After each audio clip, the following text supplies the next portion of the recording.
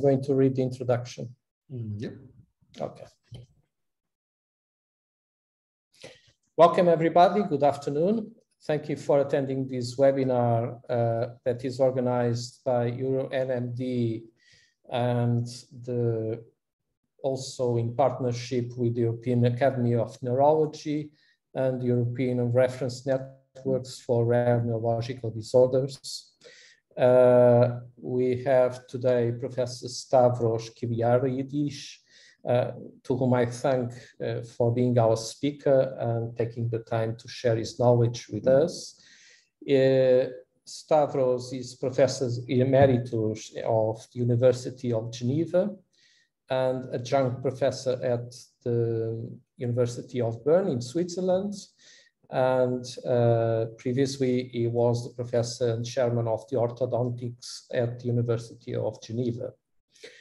His research is uh, focused on masticatory muscle influence on dentofacial growth and the post-emergent phases of tooth eruption, diagnostic methods of oral function, dentofacial aberrations in individual with neuromuscular diseases and all the physiological and physiopathological implications of that, and the outcome of different orthodontic interventions and their side effects, uh, namely in the population of neuromuscular disease patients, that is, as you imagine, our target uh, also today. Uh, obviously, we don't have to remind you of the, num of the very high number of interventions of Professor uh, in, in uh, congresses and universities, many awards and publications that he has. He has kindly agreed to participate in a live Q&A at the end of the webinar. So although you cannot speak during the webinar, you can use the Q&A box to enter your questions. And at the end of the webinar, either you voice your question because you will be unmuted so that you can speak directly, or if need be, I can uh, read the question and Professor Stavros will uh, answer. Uh, this webinar is recorded as I have already written in the chat box that you can use to talk with us and between yourselves. And it will be made available on demand on the EuroNMD YouTube channel. So if you don't consent to this recording, please, uh, you need to disconnect. And uh, thank you for attending and thank you, Professor Stavros uh, Kiliaridis, for your uh, very uh, generous uh, participation. Thank you, and the floor is entirely yours. Thank you very much, Antonio, for your kind introduction. I'm very glad that I have the possibility to share with people who are closer to this group of individuals that uh, for me it was uh, a group that I didn't know, I didn't have the slightest idea about the problems they have, but I'm going to tell you a couple of uh, things. So I'm going to have a little uh, discussion in the beginning, how I have entered to this uh, field.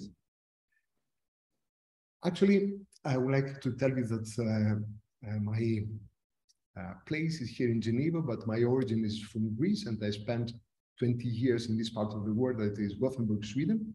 And then since seven, 99, I moved to Geneva. And now I would like to tell you that many are thinking, okay, this person is an orthodontist, how comes that uh, he is dealing with this kind of patients? So I'd like to show you a little the layout of the lecture I'm intending to uh, present. So first, I would like uh, to talk about the influence of muscle function in the facial growth. Then we'll discuss together about clinical methods that we use to evaluate the masticatory muscles.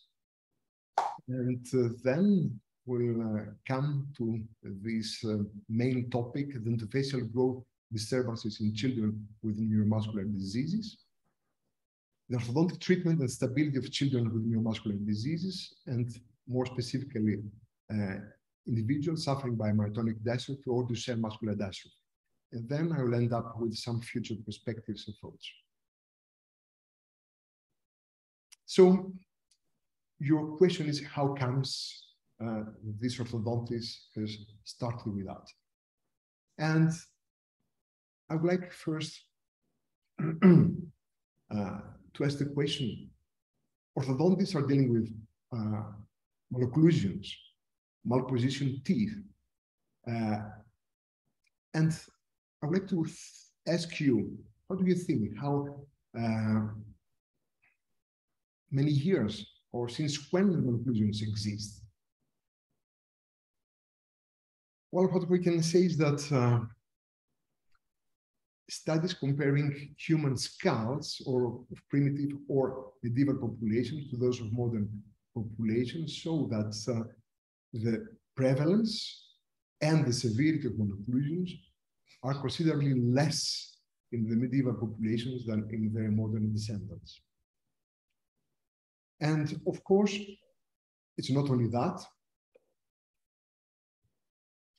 it is that the craniofacial morphology of uh, the humans have changed in respect to what we have seen, what we can see from the skulls in medieval populations. Here we can see a kind of uh, figure about the mean form of uh, the skull of uh, the medieval population. Here we have the anterior cranial base, is the red one here. And here it is the maxillary plane, uh, the roof of uh, the oral cavity, let's say. And this is the mandible. And we, as we can see, the big changes that have occurred are in the mandible. And these represent uh, the occlusal plane, the teeth, and the upper and the lower incisors. So we can say that uh, uh, during these uh, years, we have changes in the gonial angle, the mandible, and the jaws that time were better developed than the contemporary populations. Then, of course, you may have some questions. Why on earth we discuss about uh, this form of uh, uh, face, the craniofacial morphology? And I'm going to open a parenthesis and uh, tell you that uh, here we have uh,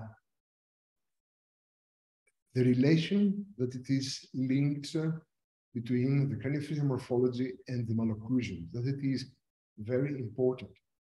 We have individuals who have a big overjet, and this is often because of this anterior-posterior skeletal discrepancy.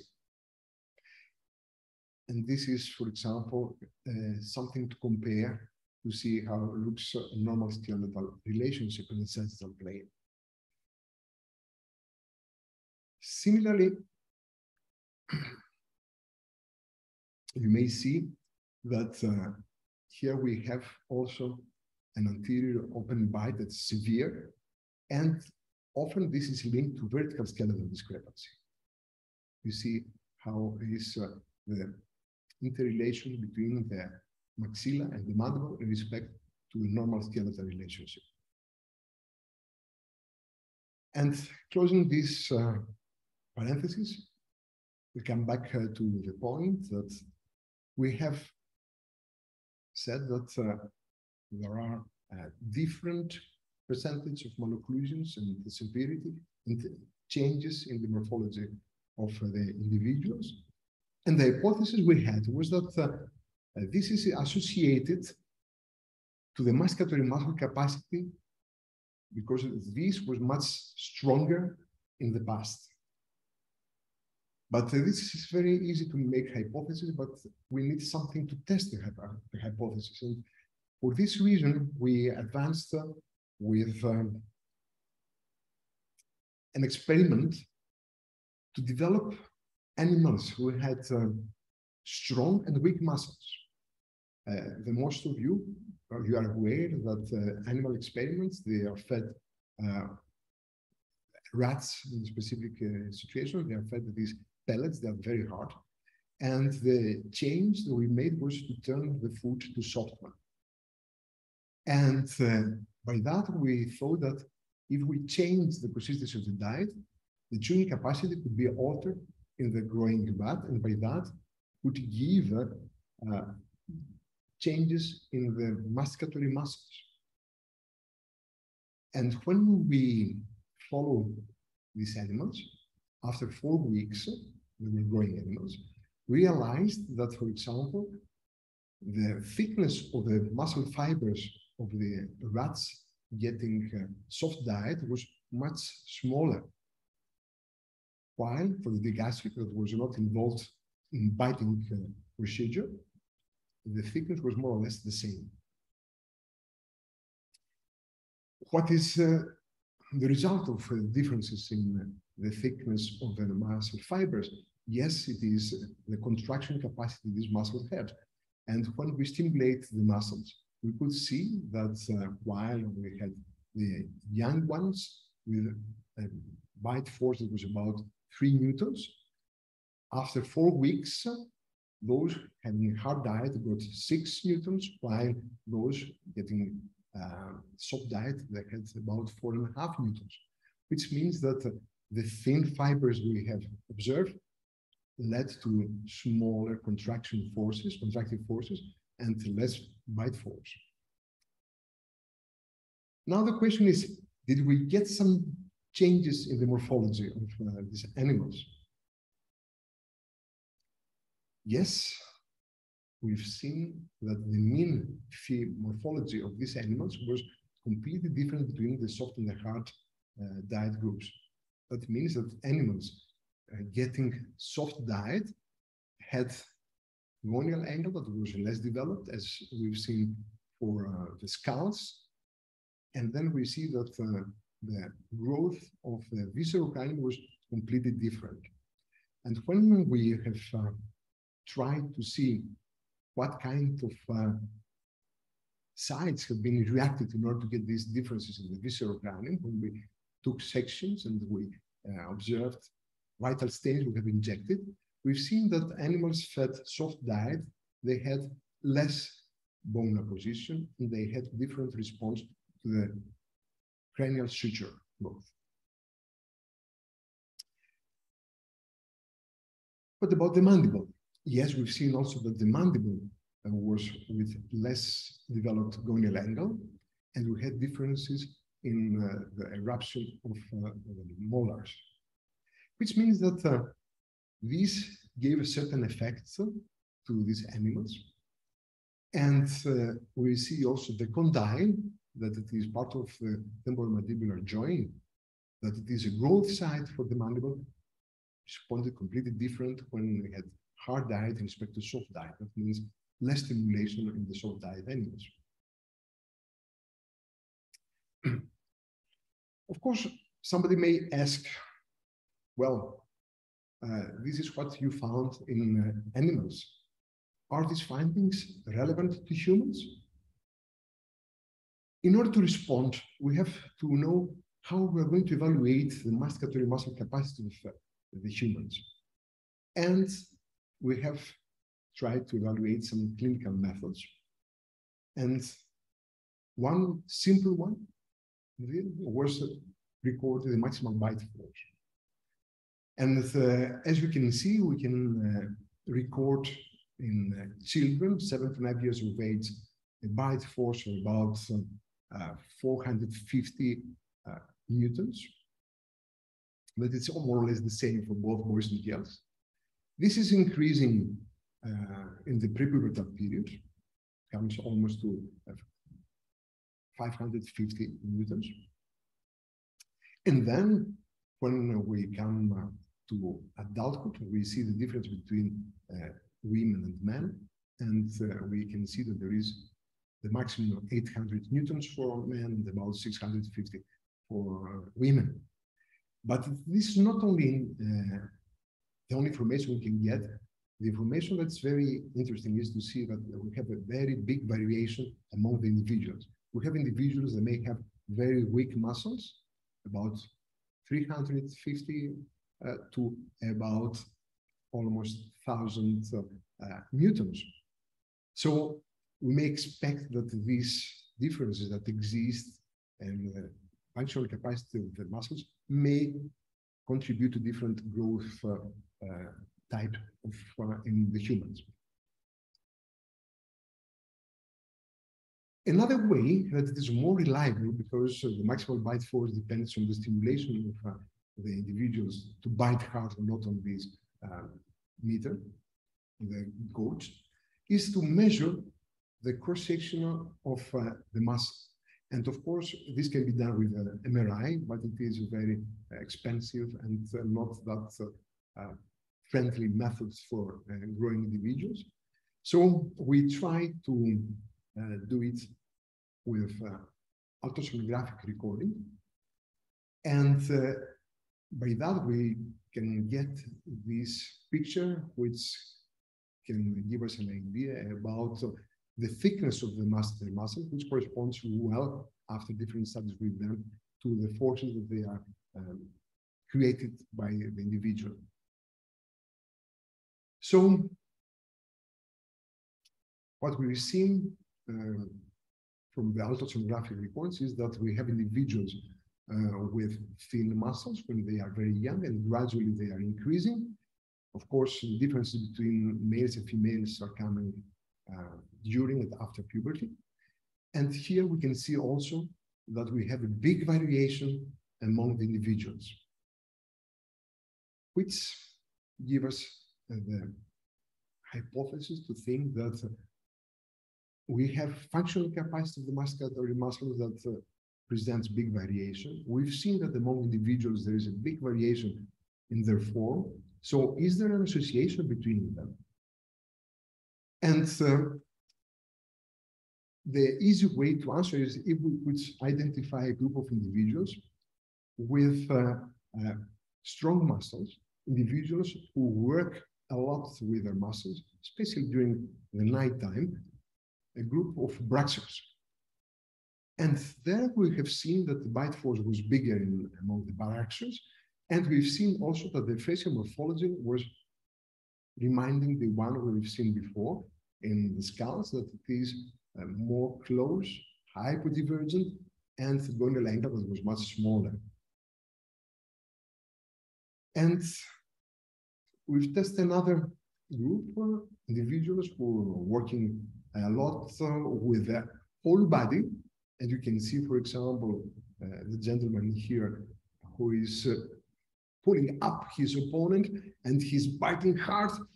And we want to see if they have a lot of malocclusions. No, they didn't have a lot. And we wanted to see uh, what is their facial morphology. And we've seen that the gonial angle in this group was also uh, smaller than in the control group. So this is what we observed individuals with strong muscles. What about the weak muscles? At that time, I've been uh, working in the lab with muscle fibers, and I have been uh, connected with uh, the group working with muscle fibers in Gothenburg. It was Professor Gunnar Grimby, who uh, at that time has been initiating a study on myotonic dystrophy adult patients. So I thought, why not? Perhaps I could have the possibility to see if there is some specific uh, dentofacial morphology in these individuals. And first, we want to see if uh, the masticatory muscles suffer also from uh, the disease. And we had the possibility to make uh, some EMG recordings surface electromyographic recordings, and we could see that both masseter and uh, uh, temporal muscle had much lower activity. And of course, this gave as a result to have um, uh, less bite force. Then later, we try to see how is the, the masticatory muscles concerning also ultrasonographic recordings. And of course, with the healthy individuals, as we have been discussing, there is big variation among the individuals. Here we had the possibility to see that there was uh, variation. Also, there was thinner muscles, but what was very interesting is that we had completely different structure of the muscle. That's obviously signs of the generation of the muscle. so uh, what we could see is uh, uh, a picture of uh, being very obscured, like uh, lighting the strong lights of your car in fog environment. Because all this connective and uh, adipose tissue was reflecting uh, uh, the ultrasound and getting a picture that was not very distinct. So what about um, the position of the teeth of these individuals? For these adult individuals, we've seen that they had teeth that they were far from being uh, uh, in good position. Here you can perhaps realize that this individual who has a lot of crowding has already extracted many teeth and still the teeth are in crowded position. Then you may see that this individual has an overjet, a big distance between the upper and the lower incisors, and tendency to have open uh. What was very interesting is to see that these individuals had a very narrow palate and deep palate. When we compare, for example, with a healthy individual, you can directly see the difference. what about their facial morphology? I pick up uh, uh, two radiographs, lateral cephalograms, and then you can see that these individuals, uh, they have completely different morphology. Uh, the individual with myotonic dystrophy has a very uh, hyperdivergent morphology. You can see that the mandible is almost uh, straight, while we compare with somebody who has been grinding teeth, you can see that it is very small gonial angle, well established. But these are two individuals. We want to see what is the mean figure of this group. We can see that both males and females have um, a hyperdivergent form. The mandible, it is more downwards, backwards, and we have an over eruption of the occlusal plane. So, of course, now when you've seen this situation, you may have thought, okay, we have individuals with this big overjet, with this anterior open bite. Uh, shall we make a treatment on these individuals? And I would like to tell you that was something that uh, came in my mind immediately. But the question is that we are missing a lot of information before starting thinking something constructive. And this is a series of questions. For example, when did these characteristics appear? Is the craniofacial growth pattern we have observed in this individual the same one as with helping the children? And another question, if we consider that are the weak muscles created the problems, do all neuromuscular diseases have the same dentofacial characteristics? And then, of course, the next step is what is feasible to achieve with orthodontic treatment? And last but not least, are the treatment results stable? And what is the prognosis of the treatment.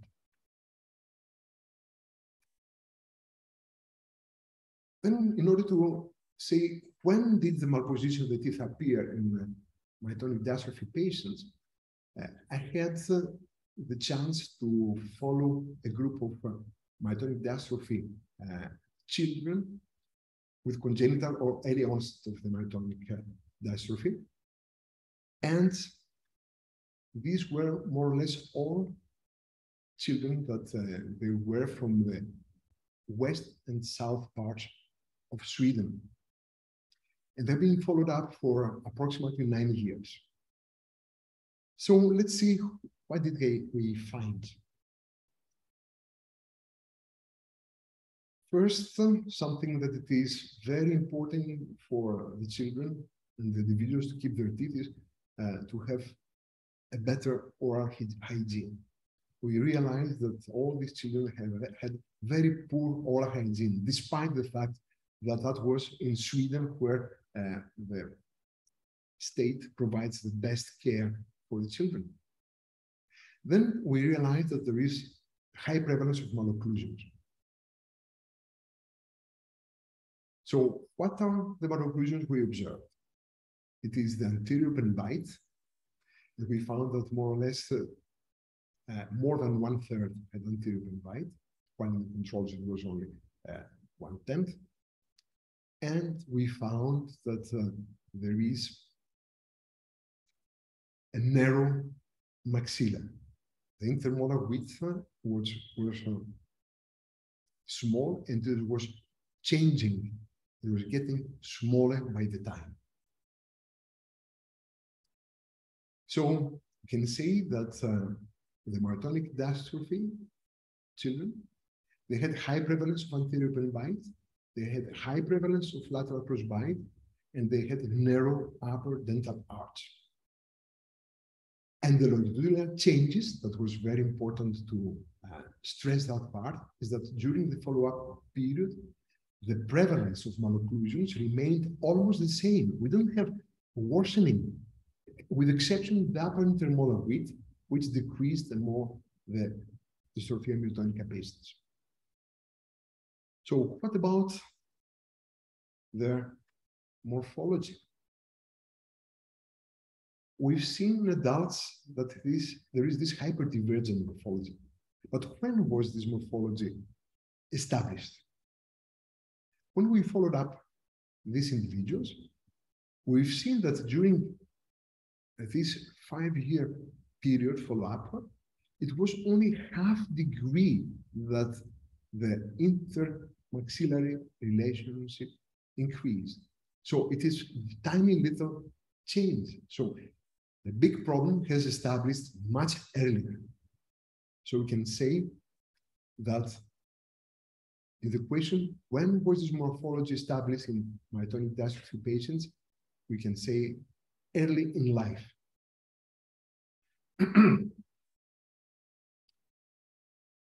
Another question that it is very important to know is, do all neuromuscular diseases have the same facial characteristics?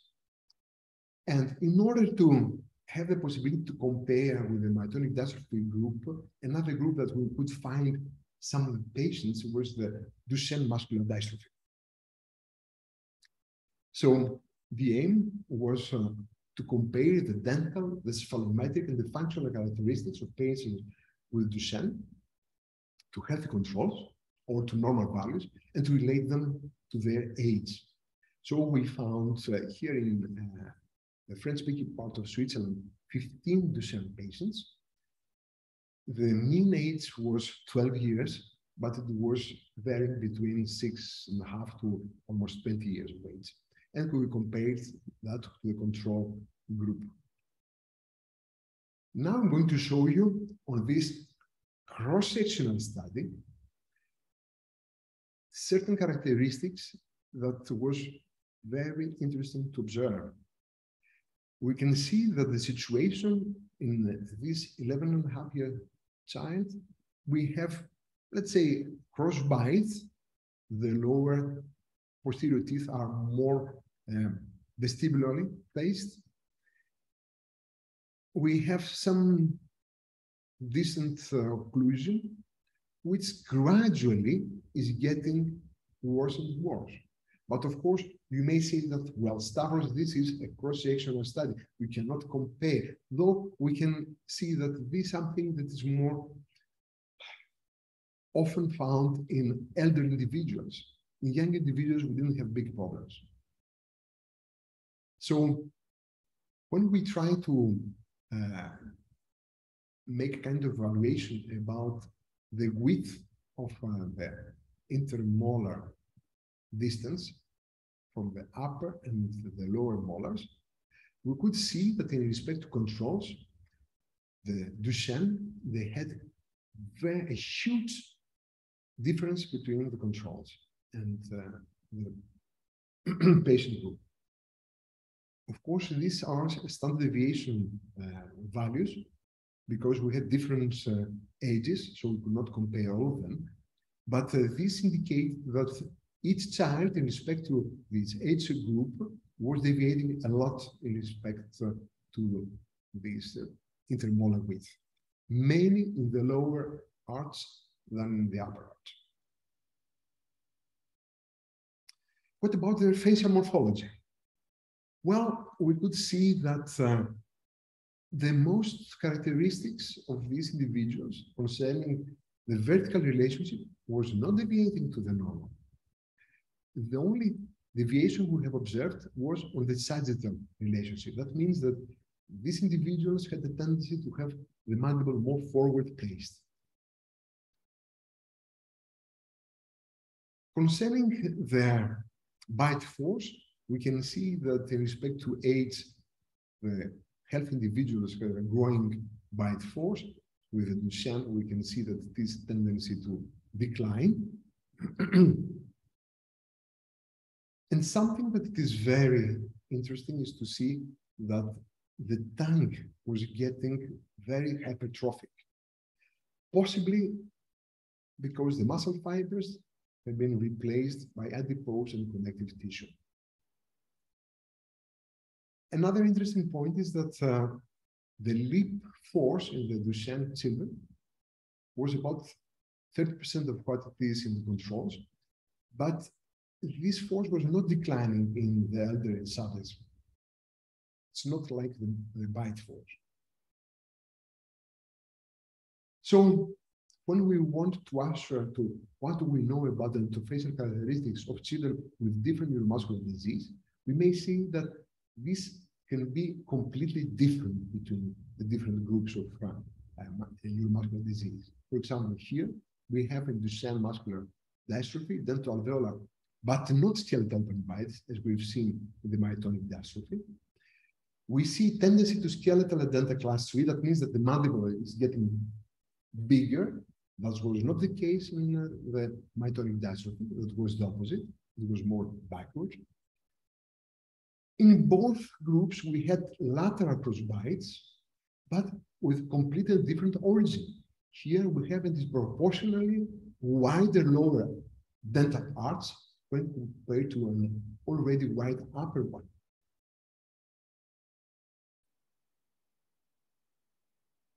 And now the question is, when do these characteristics appear? Well, based on the results of this cross-sectional study, the morphological and functional characteristics in the Duchenne patients appear gradually deteriorate with age. do we have any information from longitudinal observations? As you are going to see from the patient that I found in Göteborg, you can see that uh, he has, apart this little anterior bite, a decent posterior occlusion. Some years later, we can see that uh, the teeth, they don't fit together. They start having uh, uh less contacts between the teeth. And when Matthias got 16 years of age, he has contacts only in the posterior um, last molars.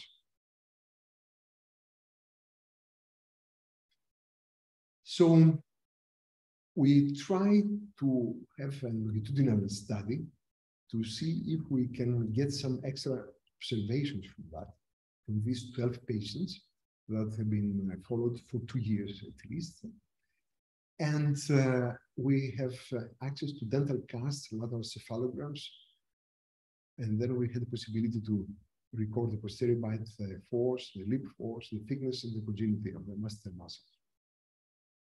And what uh, we could observe is that uh, the interarch relationship, we had an early development of the posterior crossbite, which is getting bigger and bigger, and then we have later development of lateral open bites. Concerning the intermolar width, I want to tell you that this is a stable distance for healthy uh, children. Doesn't change a lot. We can see it here. On the contrary, we can see that uh, already from the beginning, this distance was bigger in young patients, but is increasing with the age. Why? Most probably, it is because we have the tongue that is getting bigger. And here you can see, you can visualize the situation of one patient. You can see the white is the situation when uh, this child was 10 years of age. And the green you can see here, it is when the child was about 12 and a half. And the blue is when is about 15 years of age. And as I told you, for healthy children, this distance remain more or less the same, or we may have 0.1 millimeter or 0.2 millimeter difference. So what about the labial force? It was quite interesting to see that uh, the controls are getting uh, stronger, but these individuals, the Duchenne, they don't have any uh, decrease The maximal bite force is declining a little, but is getting much more different in uh, bite force concerning the control group.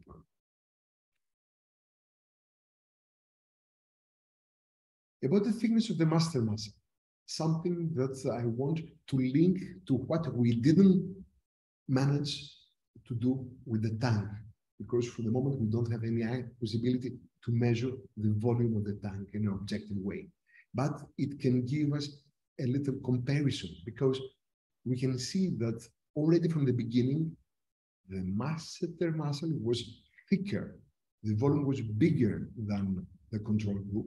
Both are increasing, but obviously the increase of the masseter muscle was, is not because of uh, the increase of the contractile elements, but it is that deposed in the connective tissue. What about the skeletal changes?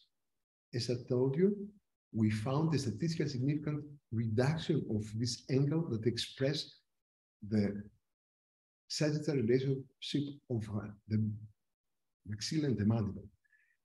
To make it more simple, it shows that Duchenne children, they get the mandible bigger. And this is something we can see it also in the face. On the contrary, we didn't have vertical changes in these individuals. So to conclude, we can say that Duchenne seems to have an effect on facial morphology, dental arch dimensions, and oral function. You can see that during the observation period, all measured parameters deteriorated, adding to the pre-existing aberration we can see that in all patients, we found a remarkable transverse increase of the posterior arches, more in the lower than in the upper, resulting in posterior crossbites. And we have observed skeletally a tendency towards a class three relation. That means that the mandible is getting bigger. So when we come to the question, do all neuromuscular disease have the same dentofacial characteristics? Because all of them, they have weaker muscles? The answer is no.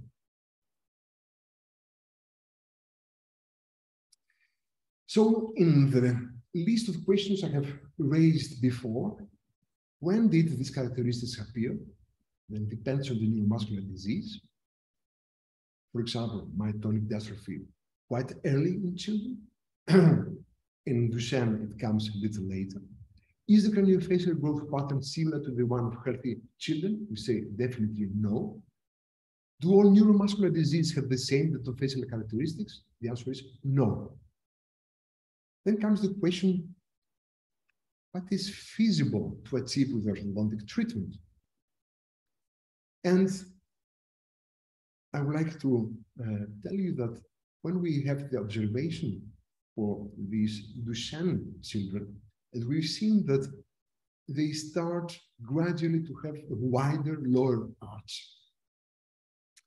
It was not rocket science, but just a simple idea. Why not trying to keep the intermolar distance the same to protect uh, the displacement of the teeth because of this increase of the tongue?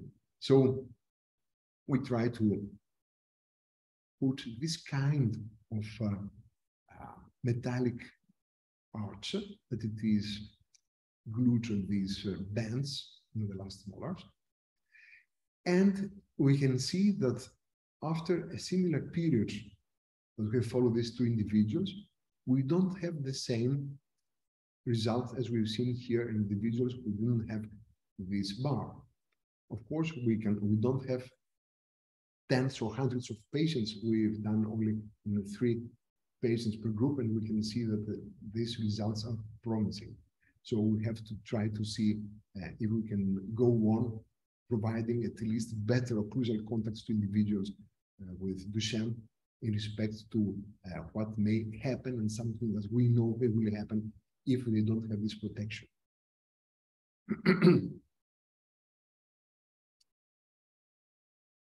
then another question is, are the treatment results stable? If we try to treat the individuals like individuals we've seen with myotonic dystrophy, what is the prognosis of these individuals?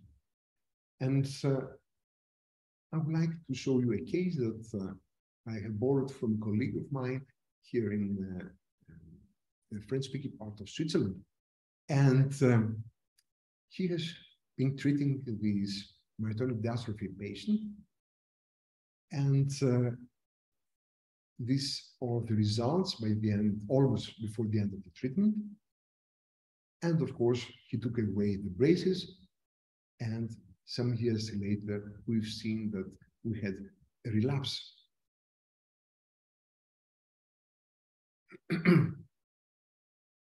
so what is the specific with this patient, as we've seen also with the other myotonic dystrophy patients, is that we have this individual hanging the mandible always down. So there is a big freeway space and the posterior teeth possibly are erupting and create this anterior bite. Of course, now the question is, is it perhaps a better prognosis if the treatment takes place in elder individuals? Not only by means of orthodontics, but also orthognathic surgery.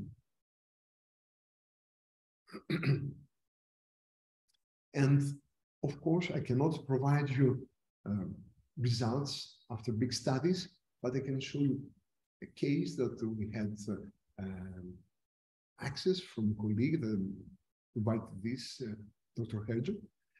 Um, this young man went to his office when he was uh, 17 years of age, and gradually he started getting uh, preparing uh, this individual for doing a traumatic surgical, treatment.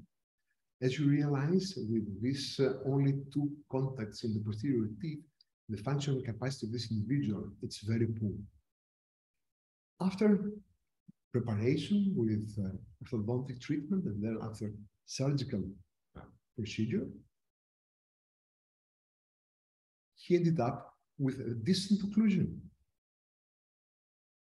at the age of about 19 years.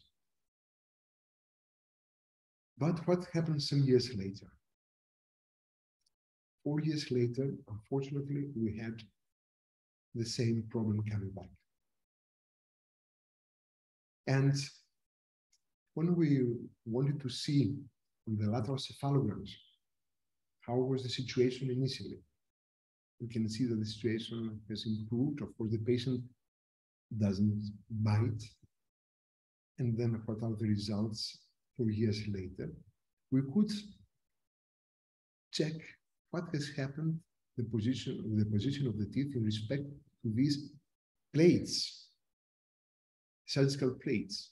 And then we realized that uh, there is an increase in the distance of uh, these, uh, the roots of the molars in respect to the plates, which indicates that we have a continuous education of these teeth because perhaps there are not sufficient forces to keep the teeth in occlusion and the teeth go on erupting and they create this relapse. So we may conclude that individuals with weak masticatory muscles, and that starts early in life, show greater vertical aberration than those with healthy muscles or healthier muscles, as can be the situation with Duchenne, when it is young group of individuals with three, four, five years of age, in respect to myotonic dystrophy, when they have uh, early influence by the disease. Individuals with neuromuscular disease may develop anterior peri-bite and posterior cross-bite, possibly due to different reasons. Either we have decrease of the upper arch, as it is with the myotonic dystrophy, or increase of the lower dental arch, as it is with Duchenne.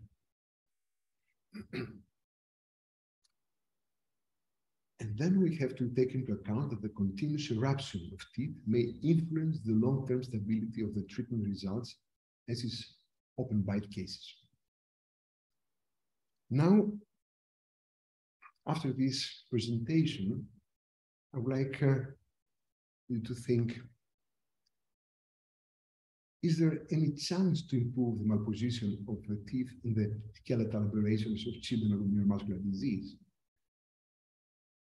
one can see that any progress that may occur in the medical field that improves the condition of patients with neuromuscular disorders may be useful in decreasing the severity of their dentofacial anomalies.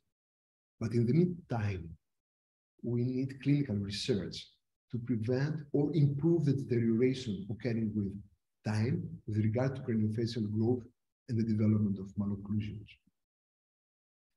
And some of you may say, but these are severe cases. Uh, are there examples where hopeless situations like the one we've seen were improved? And then I would like to tell you that we have an example, an example of cleft lip and palate cases, that in the period of 50s, the results were catastrophic tons of research were done in this field. And the results we have now, it is much different than what we've seen that time.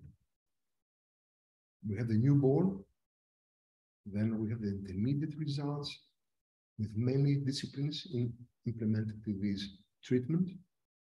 And then we have the final uh, outcome that it is at least saying this.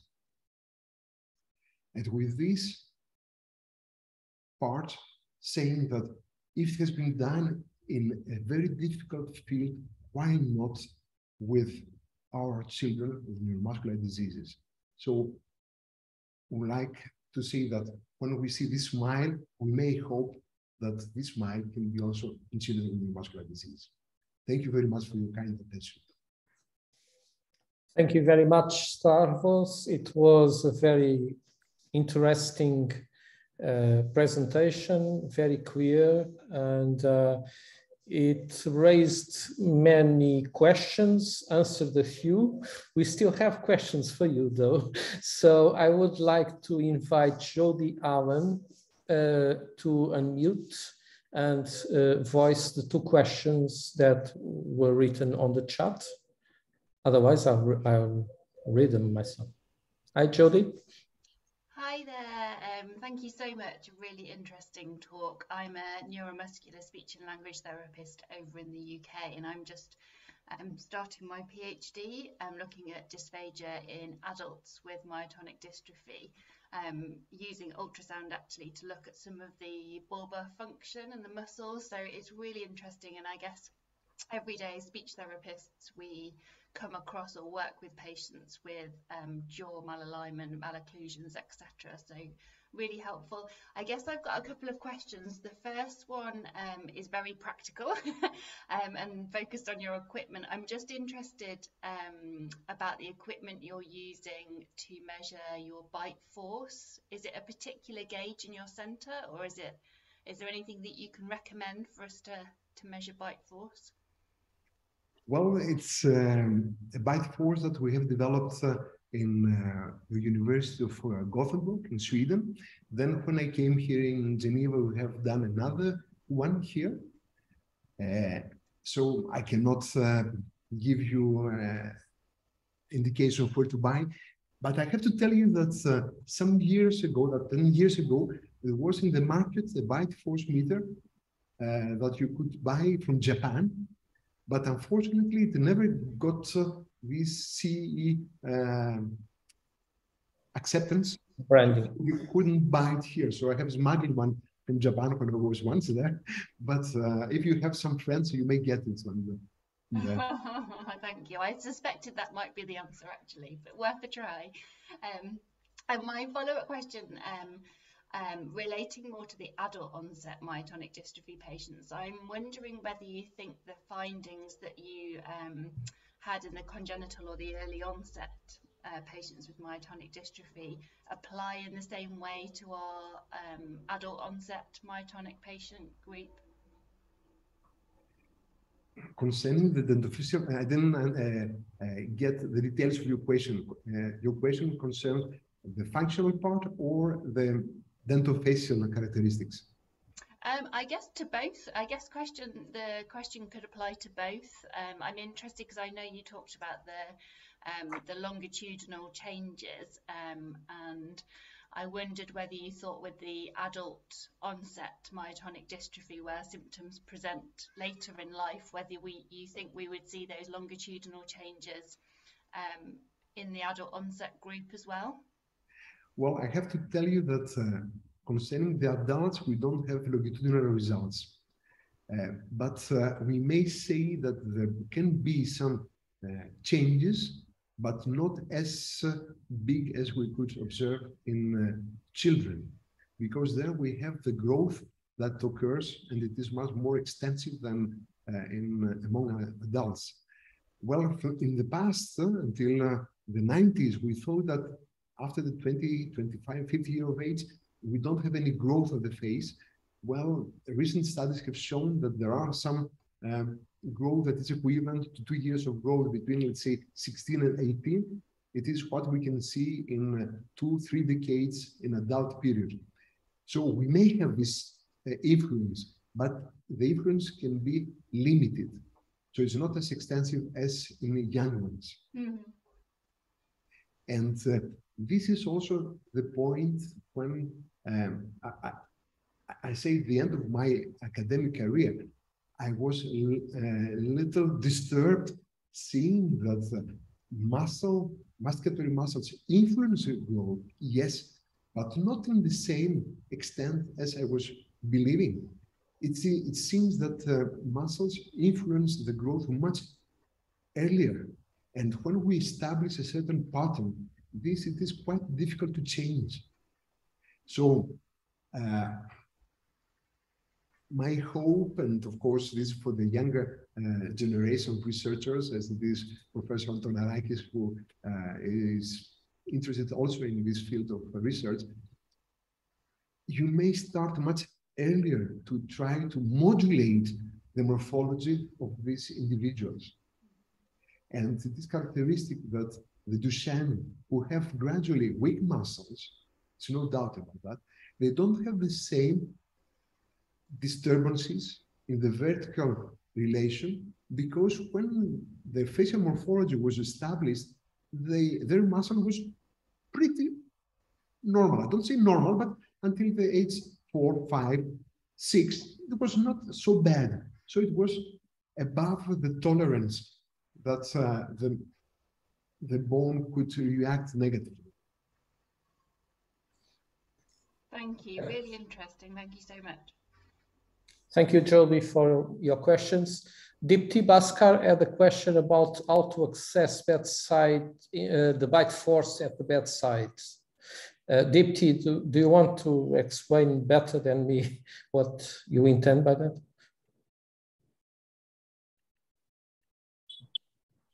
Hello. Uh, I'm am I audible?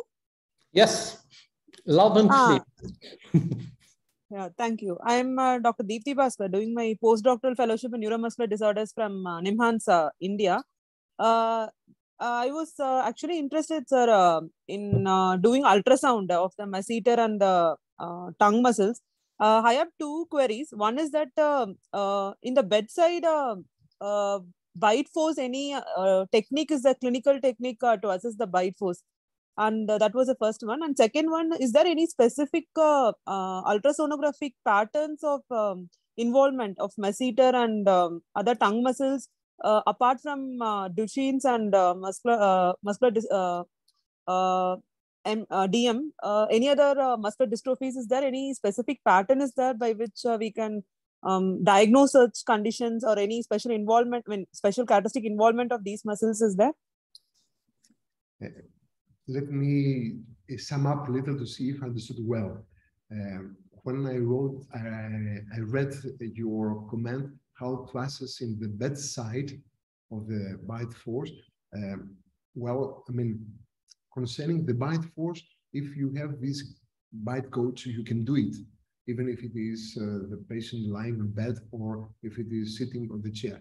For sure, if you want to standardize the results, then of course it's, it's good if the patient has a vertical position because uh, it is better to describe it and to give this precise description of the contraction. Concerning the ultrasound that you have mentioned, yes, you can do it also when the patient is sitting or is in bed. But um, be careful because uh, uh, when you take the ultrasonographic recordings, the, if the muscles are relaxed, and of course, if the muscle is uh, uh, after the disease not in contraction, then it can be deformed easier when you press against the muscle. So you may detect thinner, thicker of thickness of muscle. So be aware of that, uh, and then just gently touch the probe with a lot of gel on the cheek. And then, of course, before starting doing that on uh, individuals with neuromuscular diseases, try to develop your method in healthy individuals. So you have to standardize the method because, of course, if you change the inclination of the probe, you may get geometric uh, differences in the recordings. You may make it is like the salami. You can take a salami and then you take it perpendicular. The, the thickness it is smaller. If you make it a slice uh, that's not perpendicular, oblique slice, then you may get longer. So you have to be aware of that.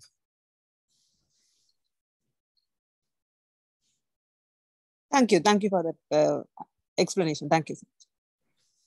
Uh, I have a question related to this later one, if you don't mind and has to do with the MRI evaluation of the muscles. So as you know, many centers have whole body MRI protocols for muscle assessment. Do you know or do you think you have any suggestion about uh, how these protocols could be made in a way that would provide also information regarding the muscles of mastication and that you've talked about? Yeah, I think that uh, this could be uh, tempting to get this information because we know from other groups of muscles that uh, there are already uh, mathematical uh, algorithms deciding about how much of the uh, how, how big part of the muscle has been influenced and can show a kind of percentage of the how much the disease has affected the muscle. So it is possible that we can do also the, the masseter muscle or other muscles with MRI because uh, ultrasound has access to the masseter, not to uh, the other muscles, but with MRI we can do that. But it's always the question of uh, resources and access to MRI. Mm -hmm. the other thing I wanted to ask you is that we frequently uh, ask speech and language therapists like Jody to help us with patients with neuromuscular disorders and other problems like dysphagia or problems, even orthophonic problems, etc. Uh, however, uh, probably uh, my impression when I worked briefly in England was that uh, the referral to orthodontics, either from uh, the center side, side or from the speech and language therapist, was much less common. So uh, I, I, see as an obvious indication for such uh, a referral in, in neuromuscular disorders with facial weakness You've talked about muscular dys uh, about myotonic dystrophy, which is an, a classic. Uh, I was thinking about um, about uh, FSHD, for instance, so the fascial scapulohumeral dystrophy and others with facial uh, involvement. Uh, so uh, apart from these probably very rude clinical criteria for orthodontics uh, referral, what else would you would you recommend as flags? What should we look for uh, if we are attentive and wanting to refer our patients early for orthodontics assessment and treatment? Antonio, uh, if I could answer your question uh, 10, 15 years ago, it will be much easier for me. Now, what I would say is that we need to concentrate these cases in some central. We have to collect information about these children. We have to organize the knowledge that we are going to gather with systematic clinical studies and to evaluate them.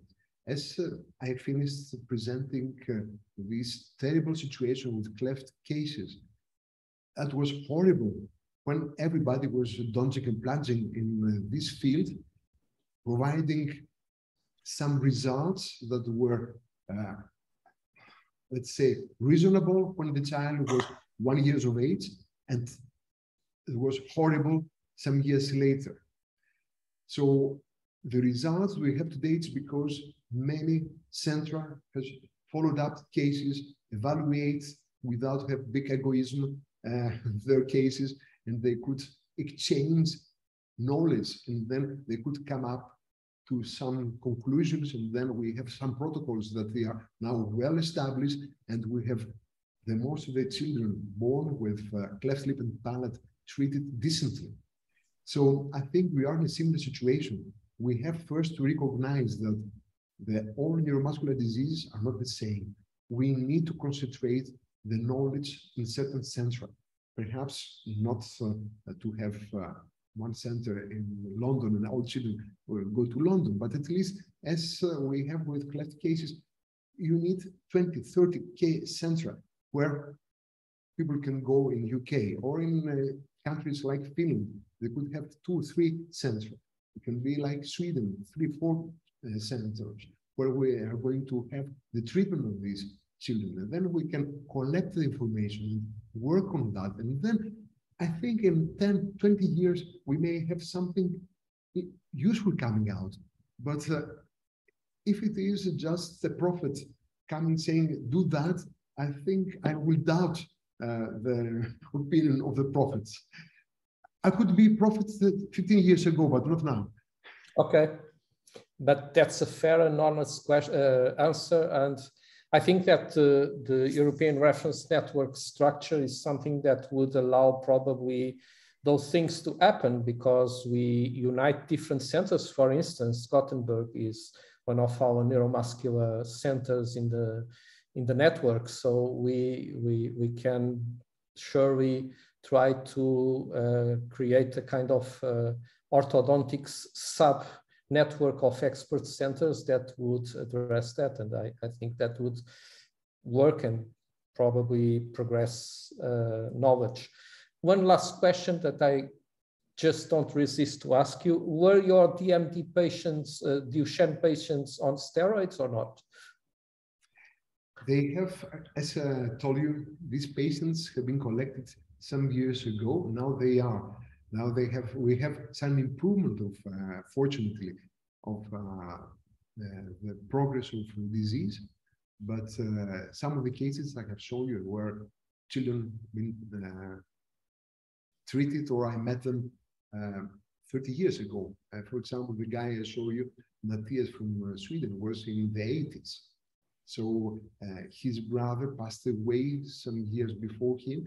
He had the chance to get some help and he could have a longer life.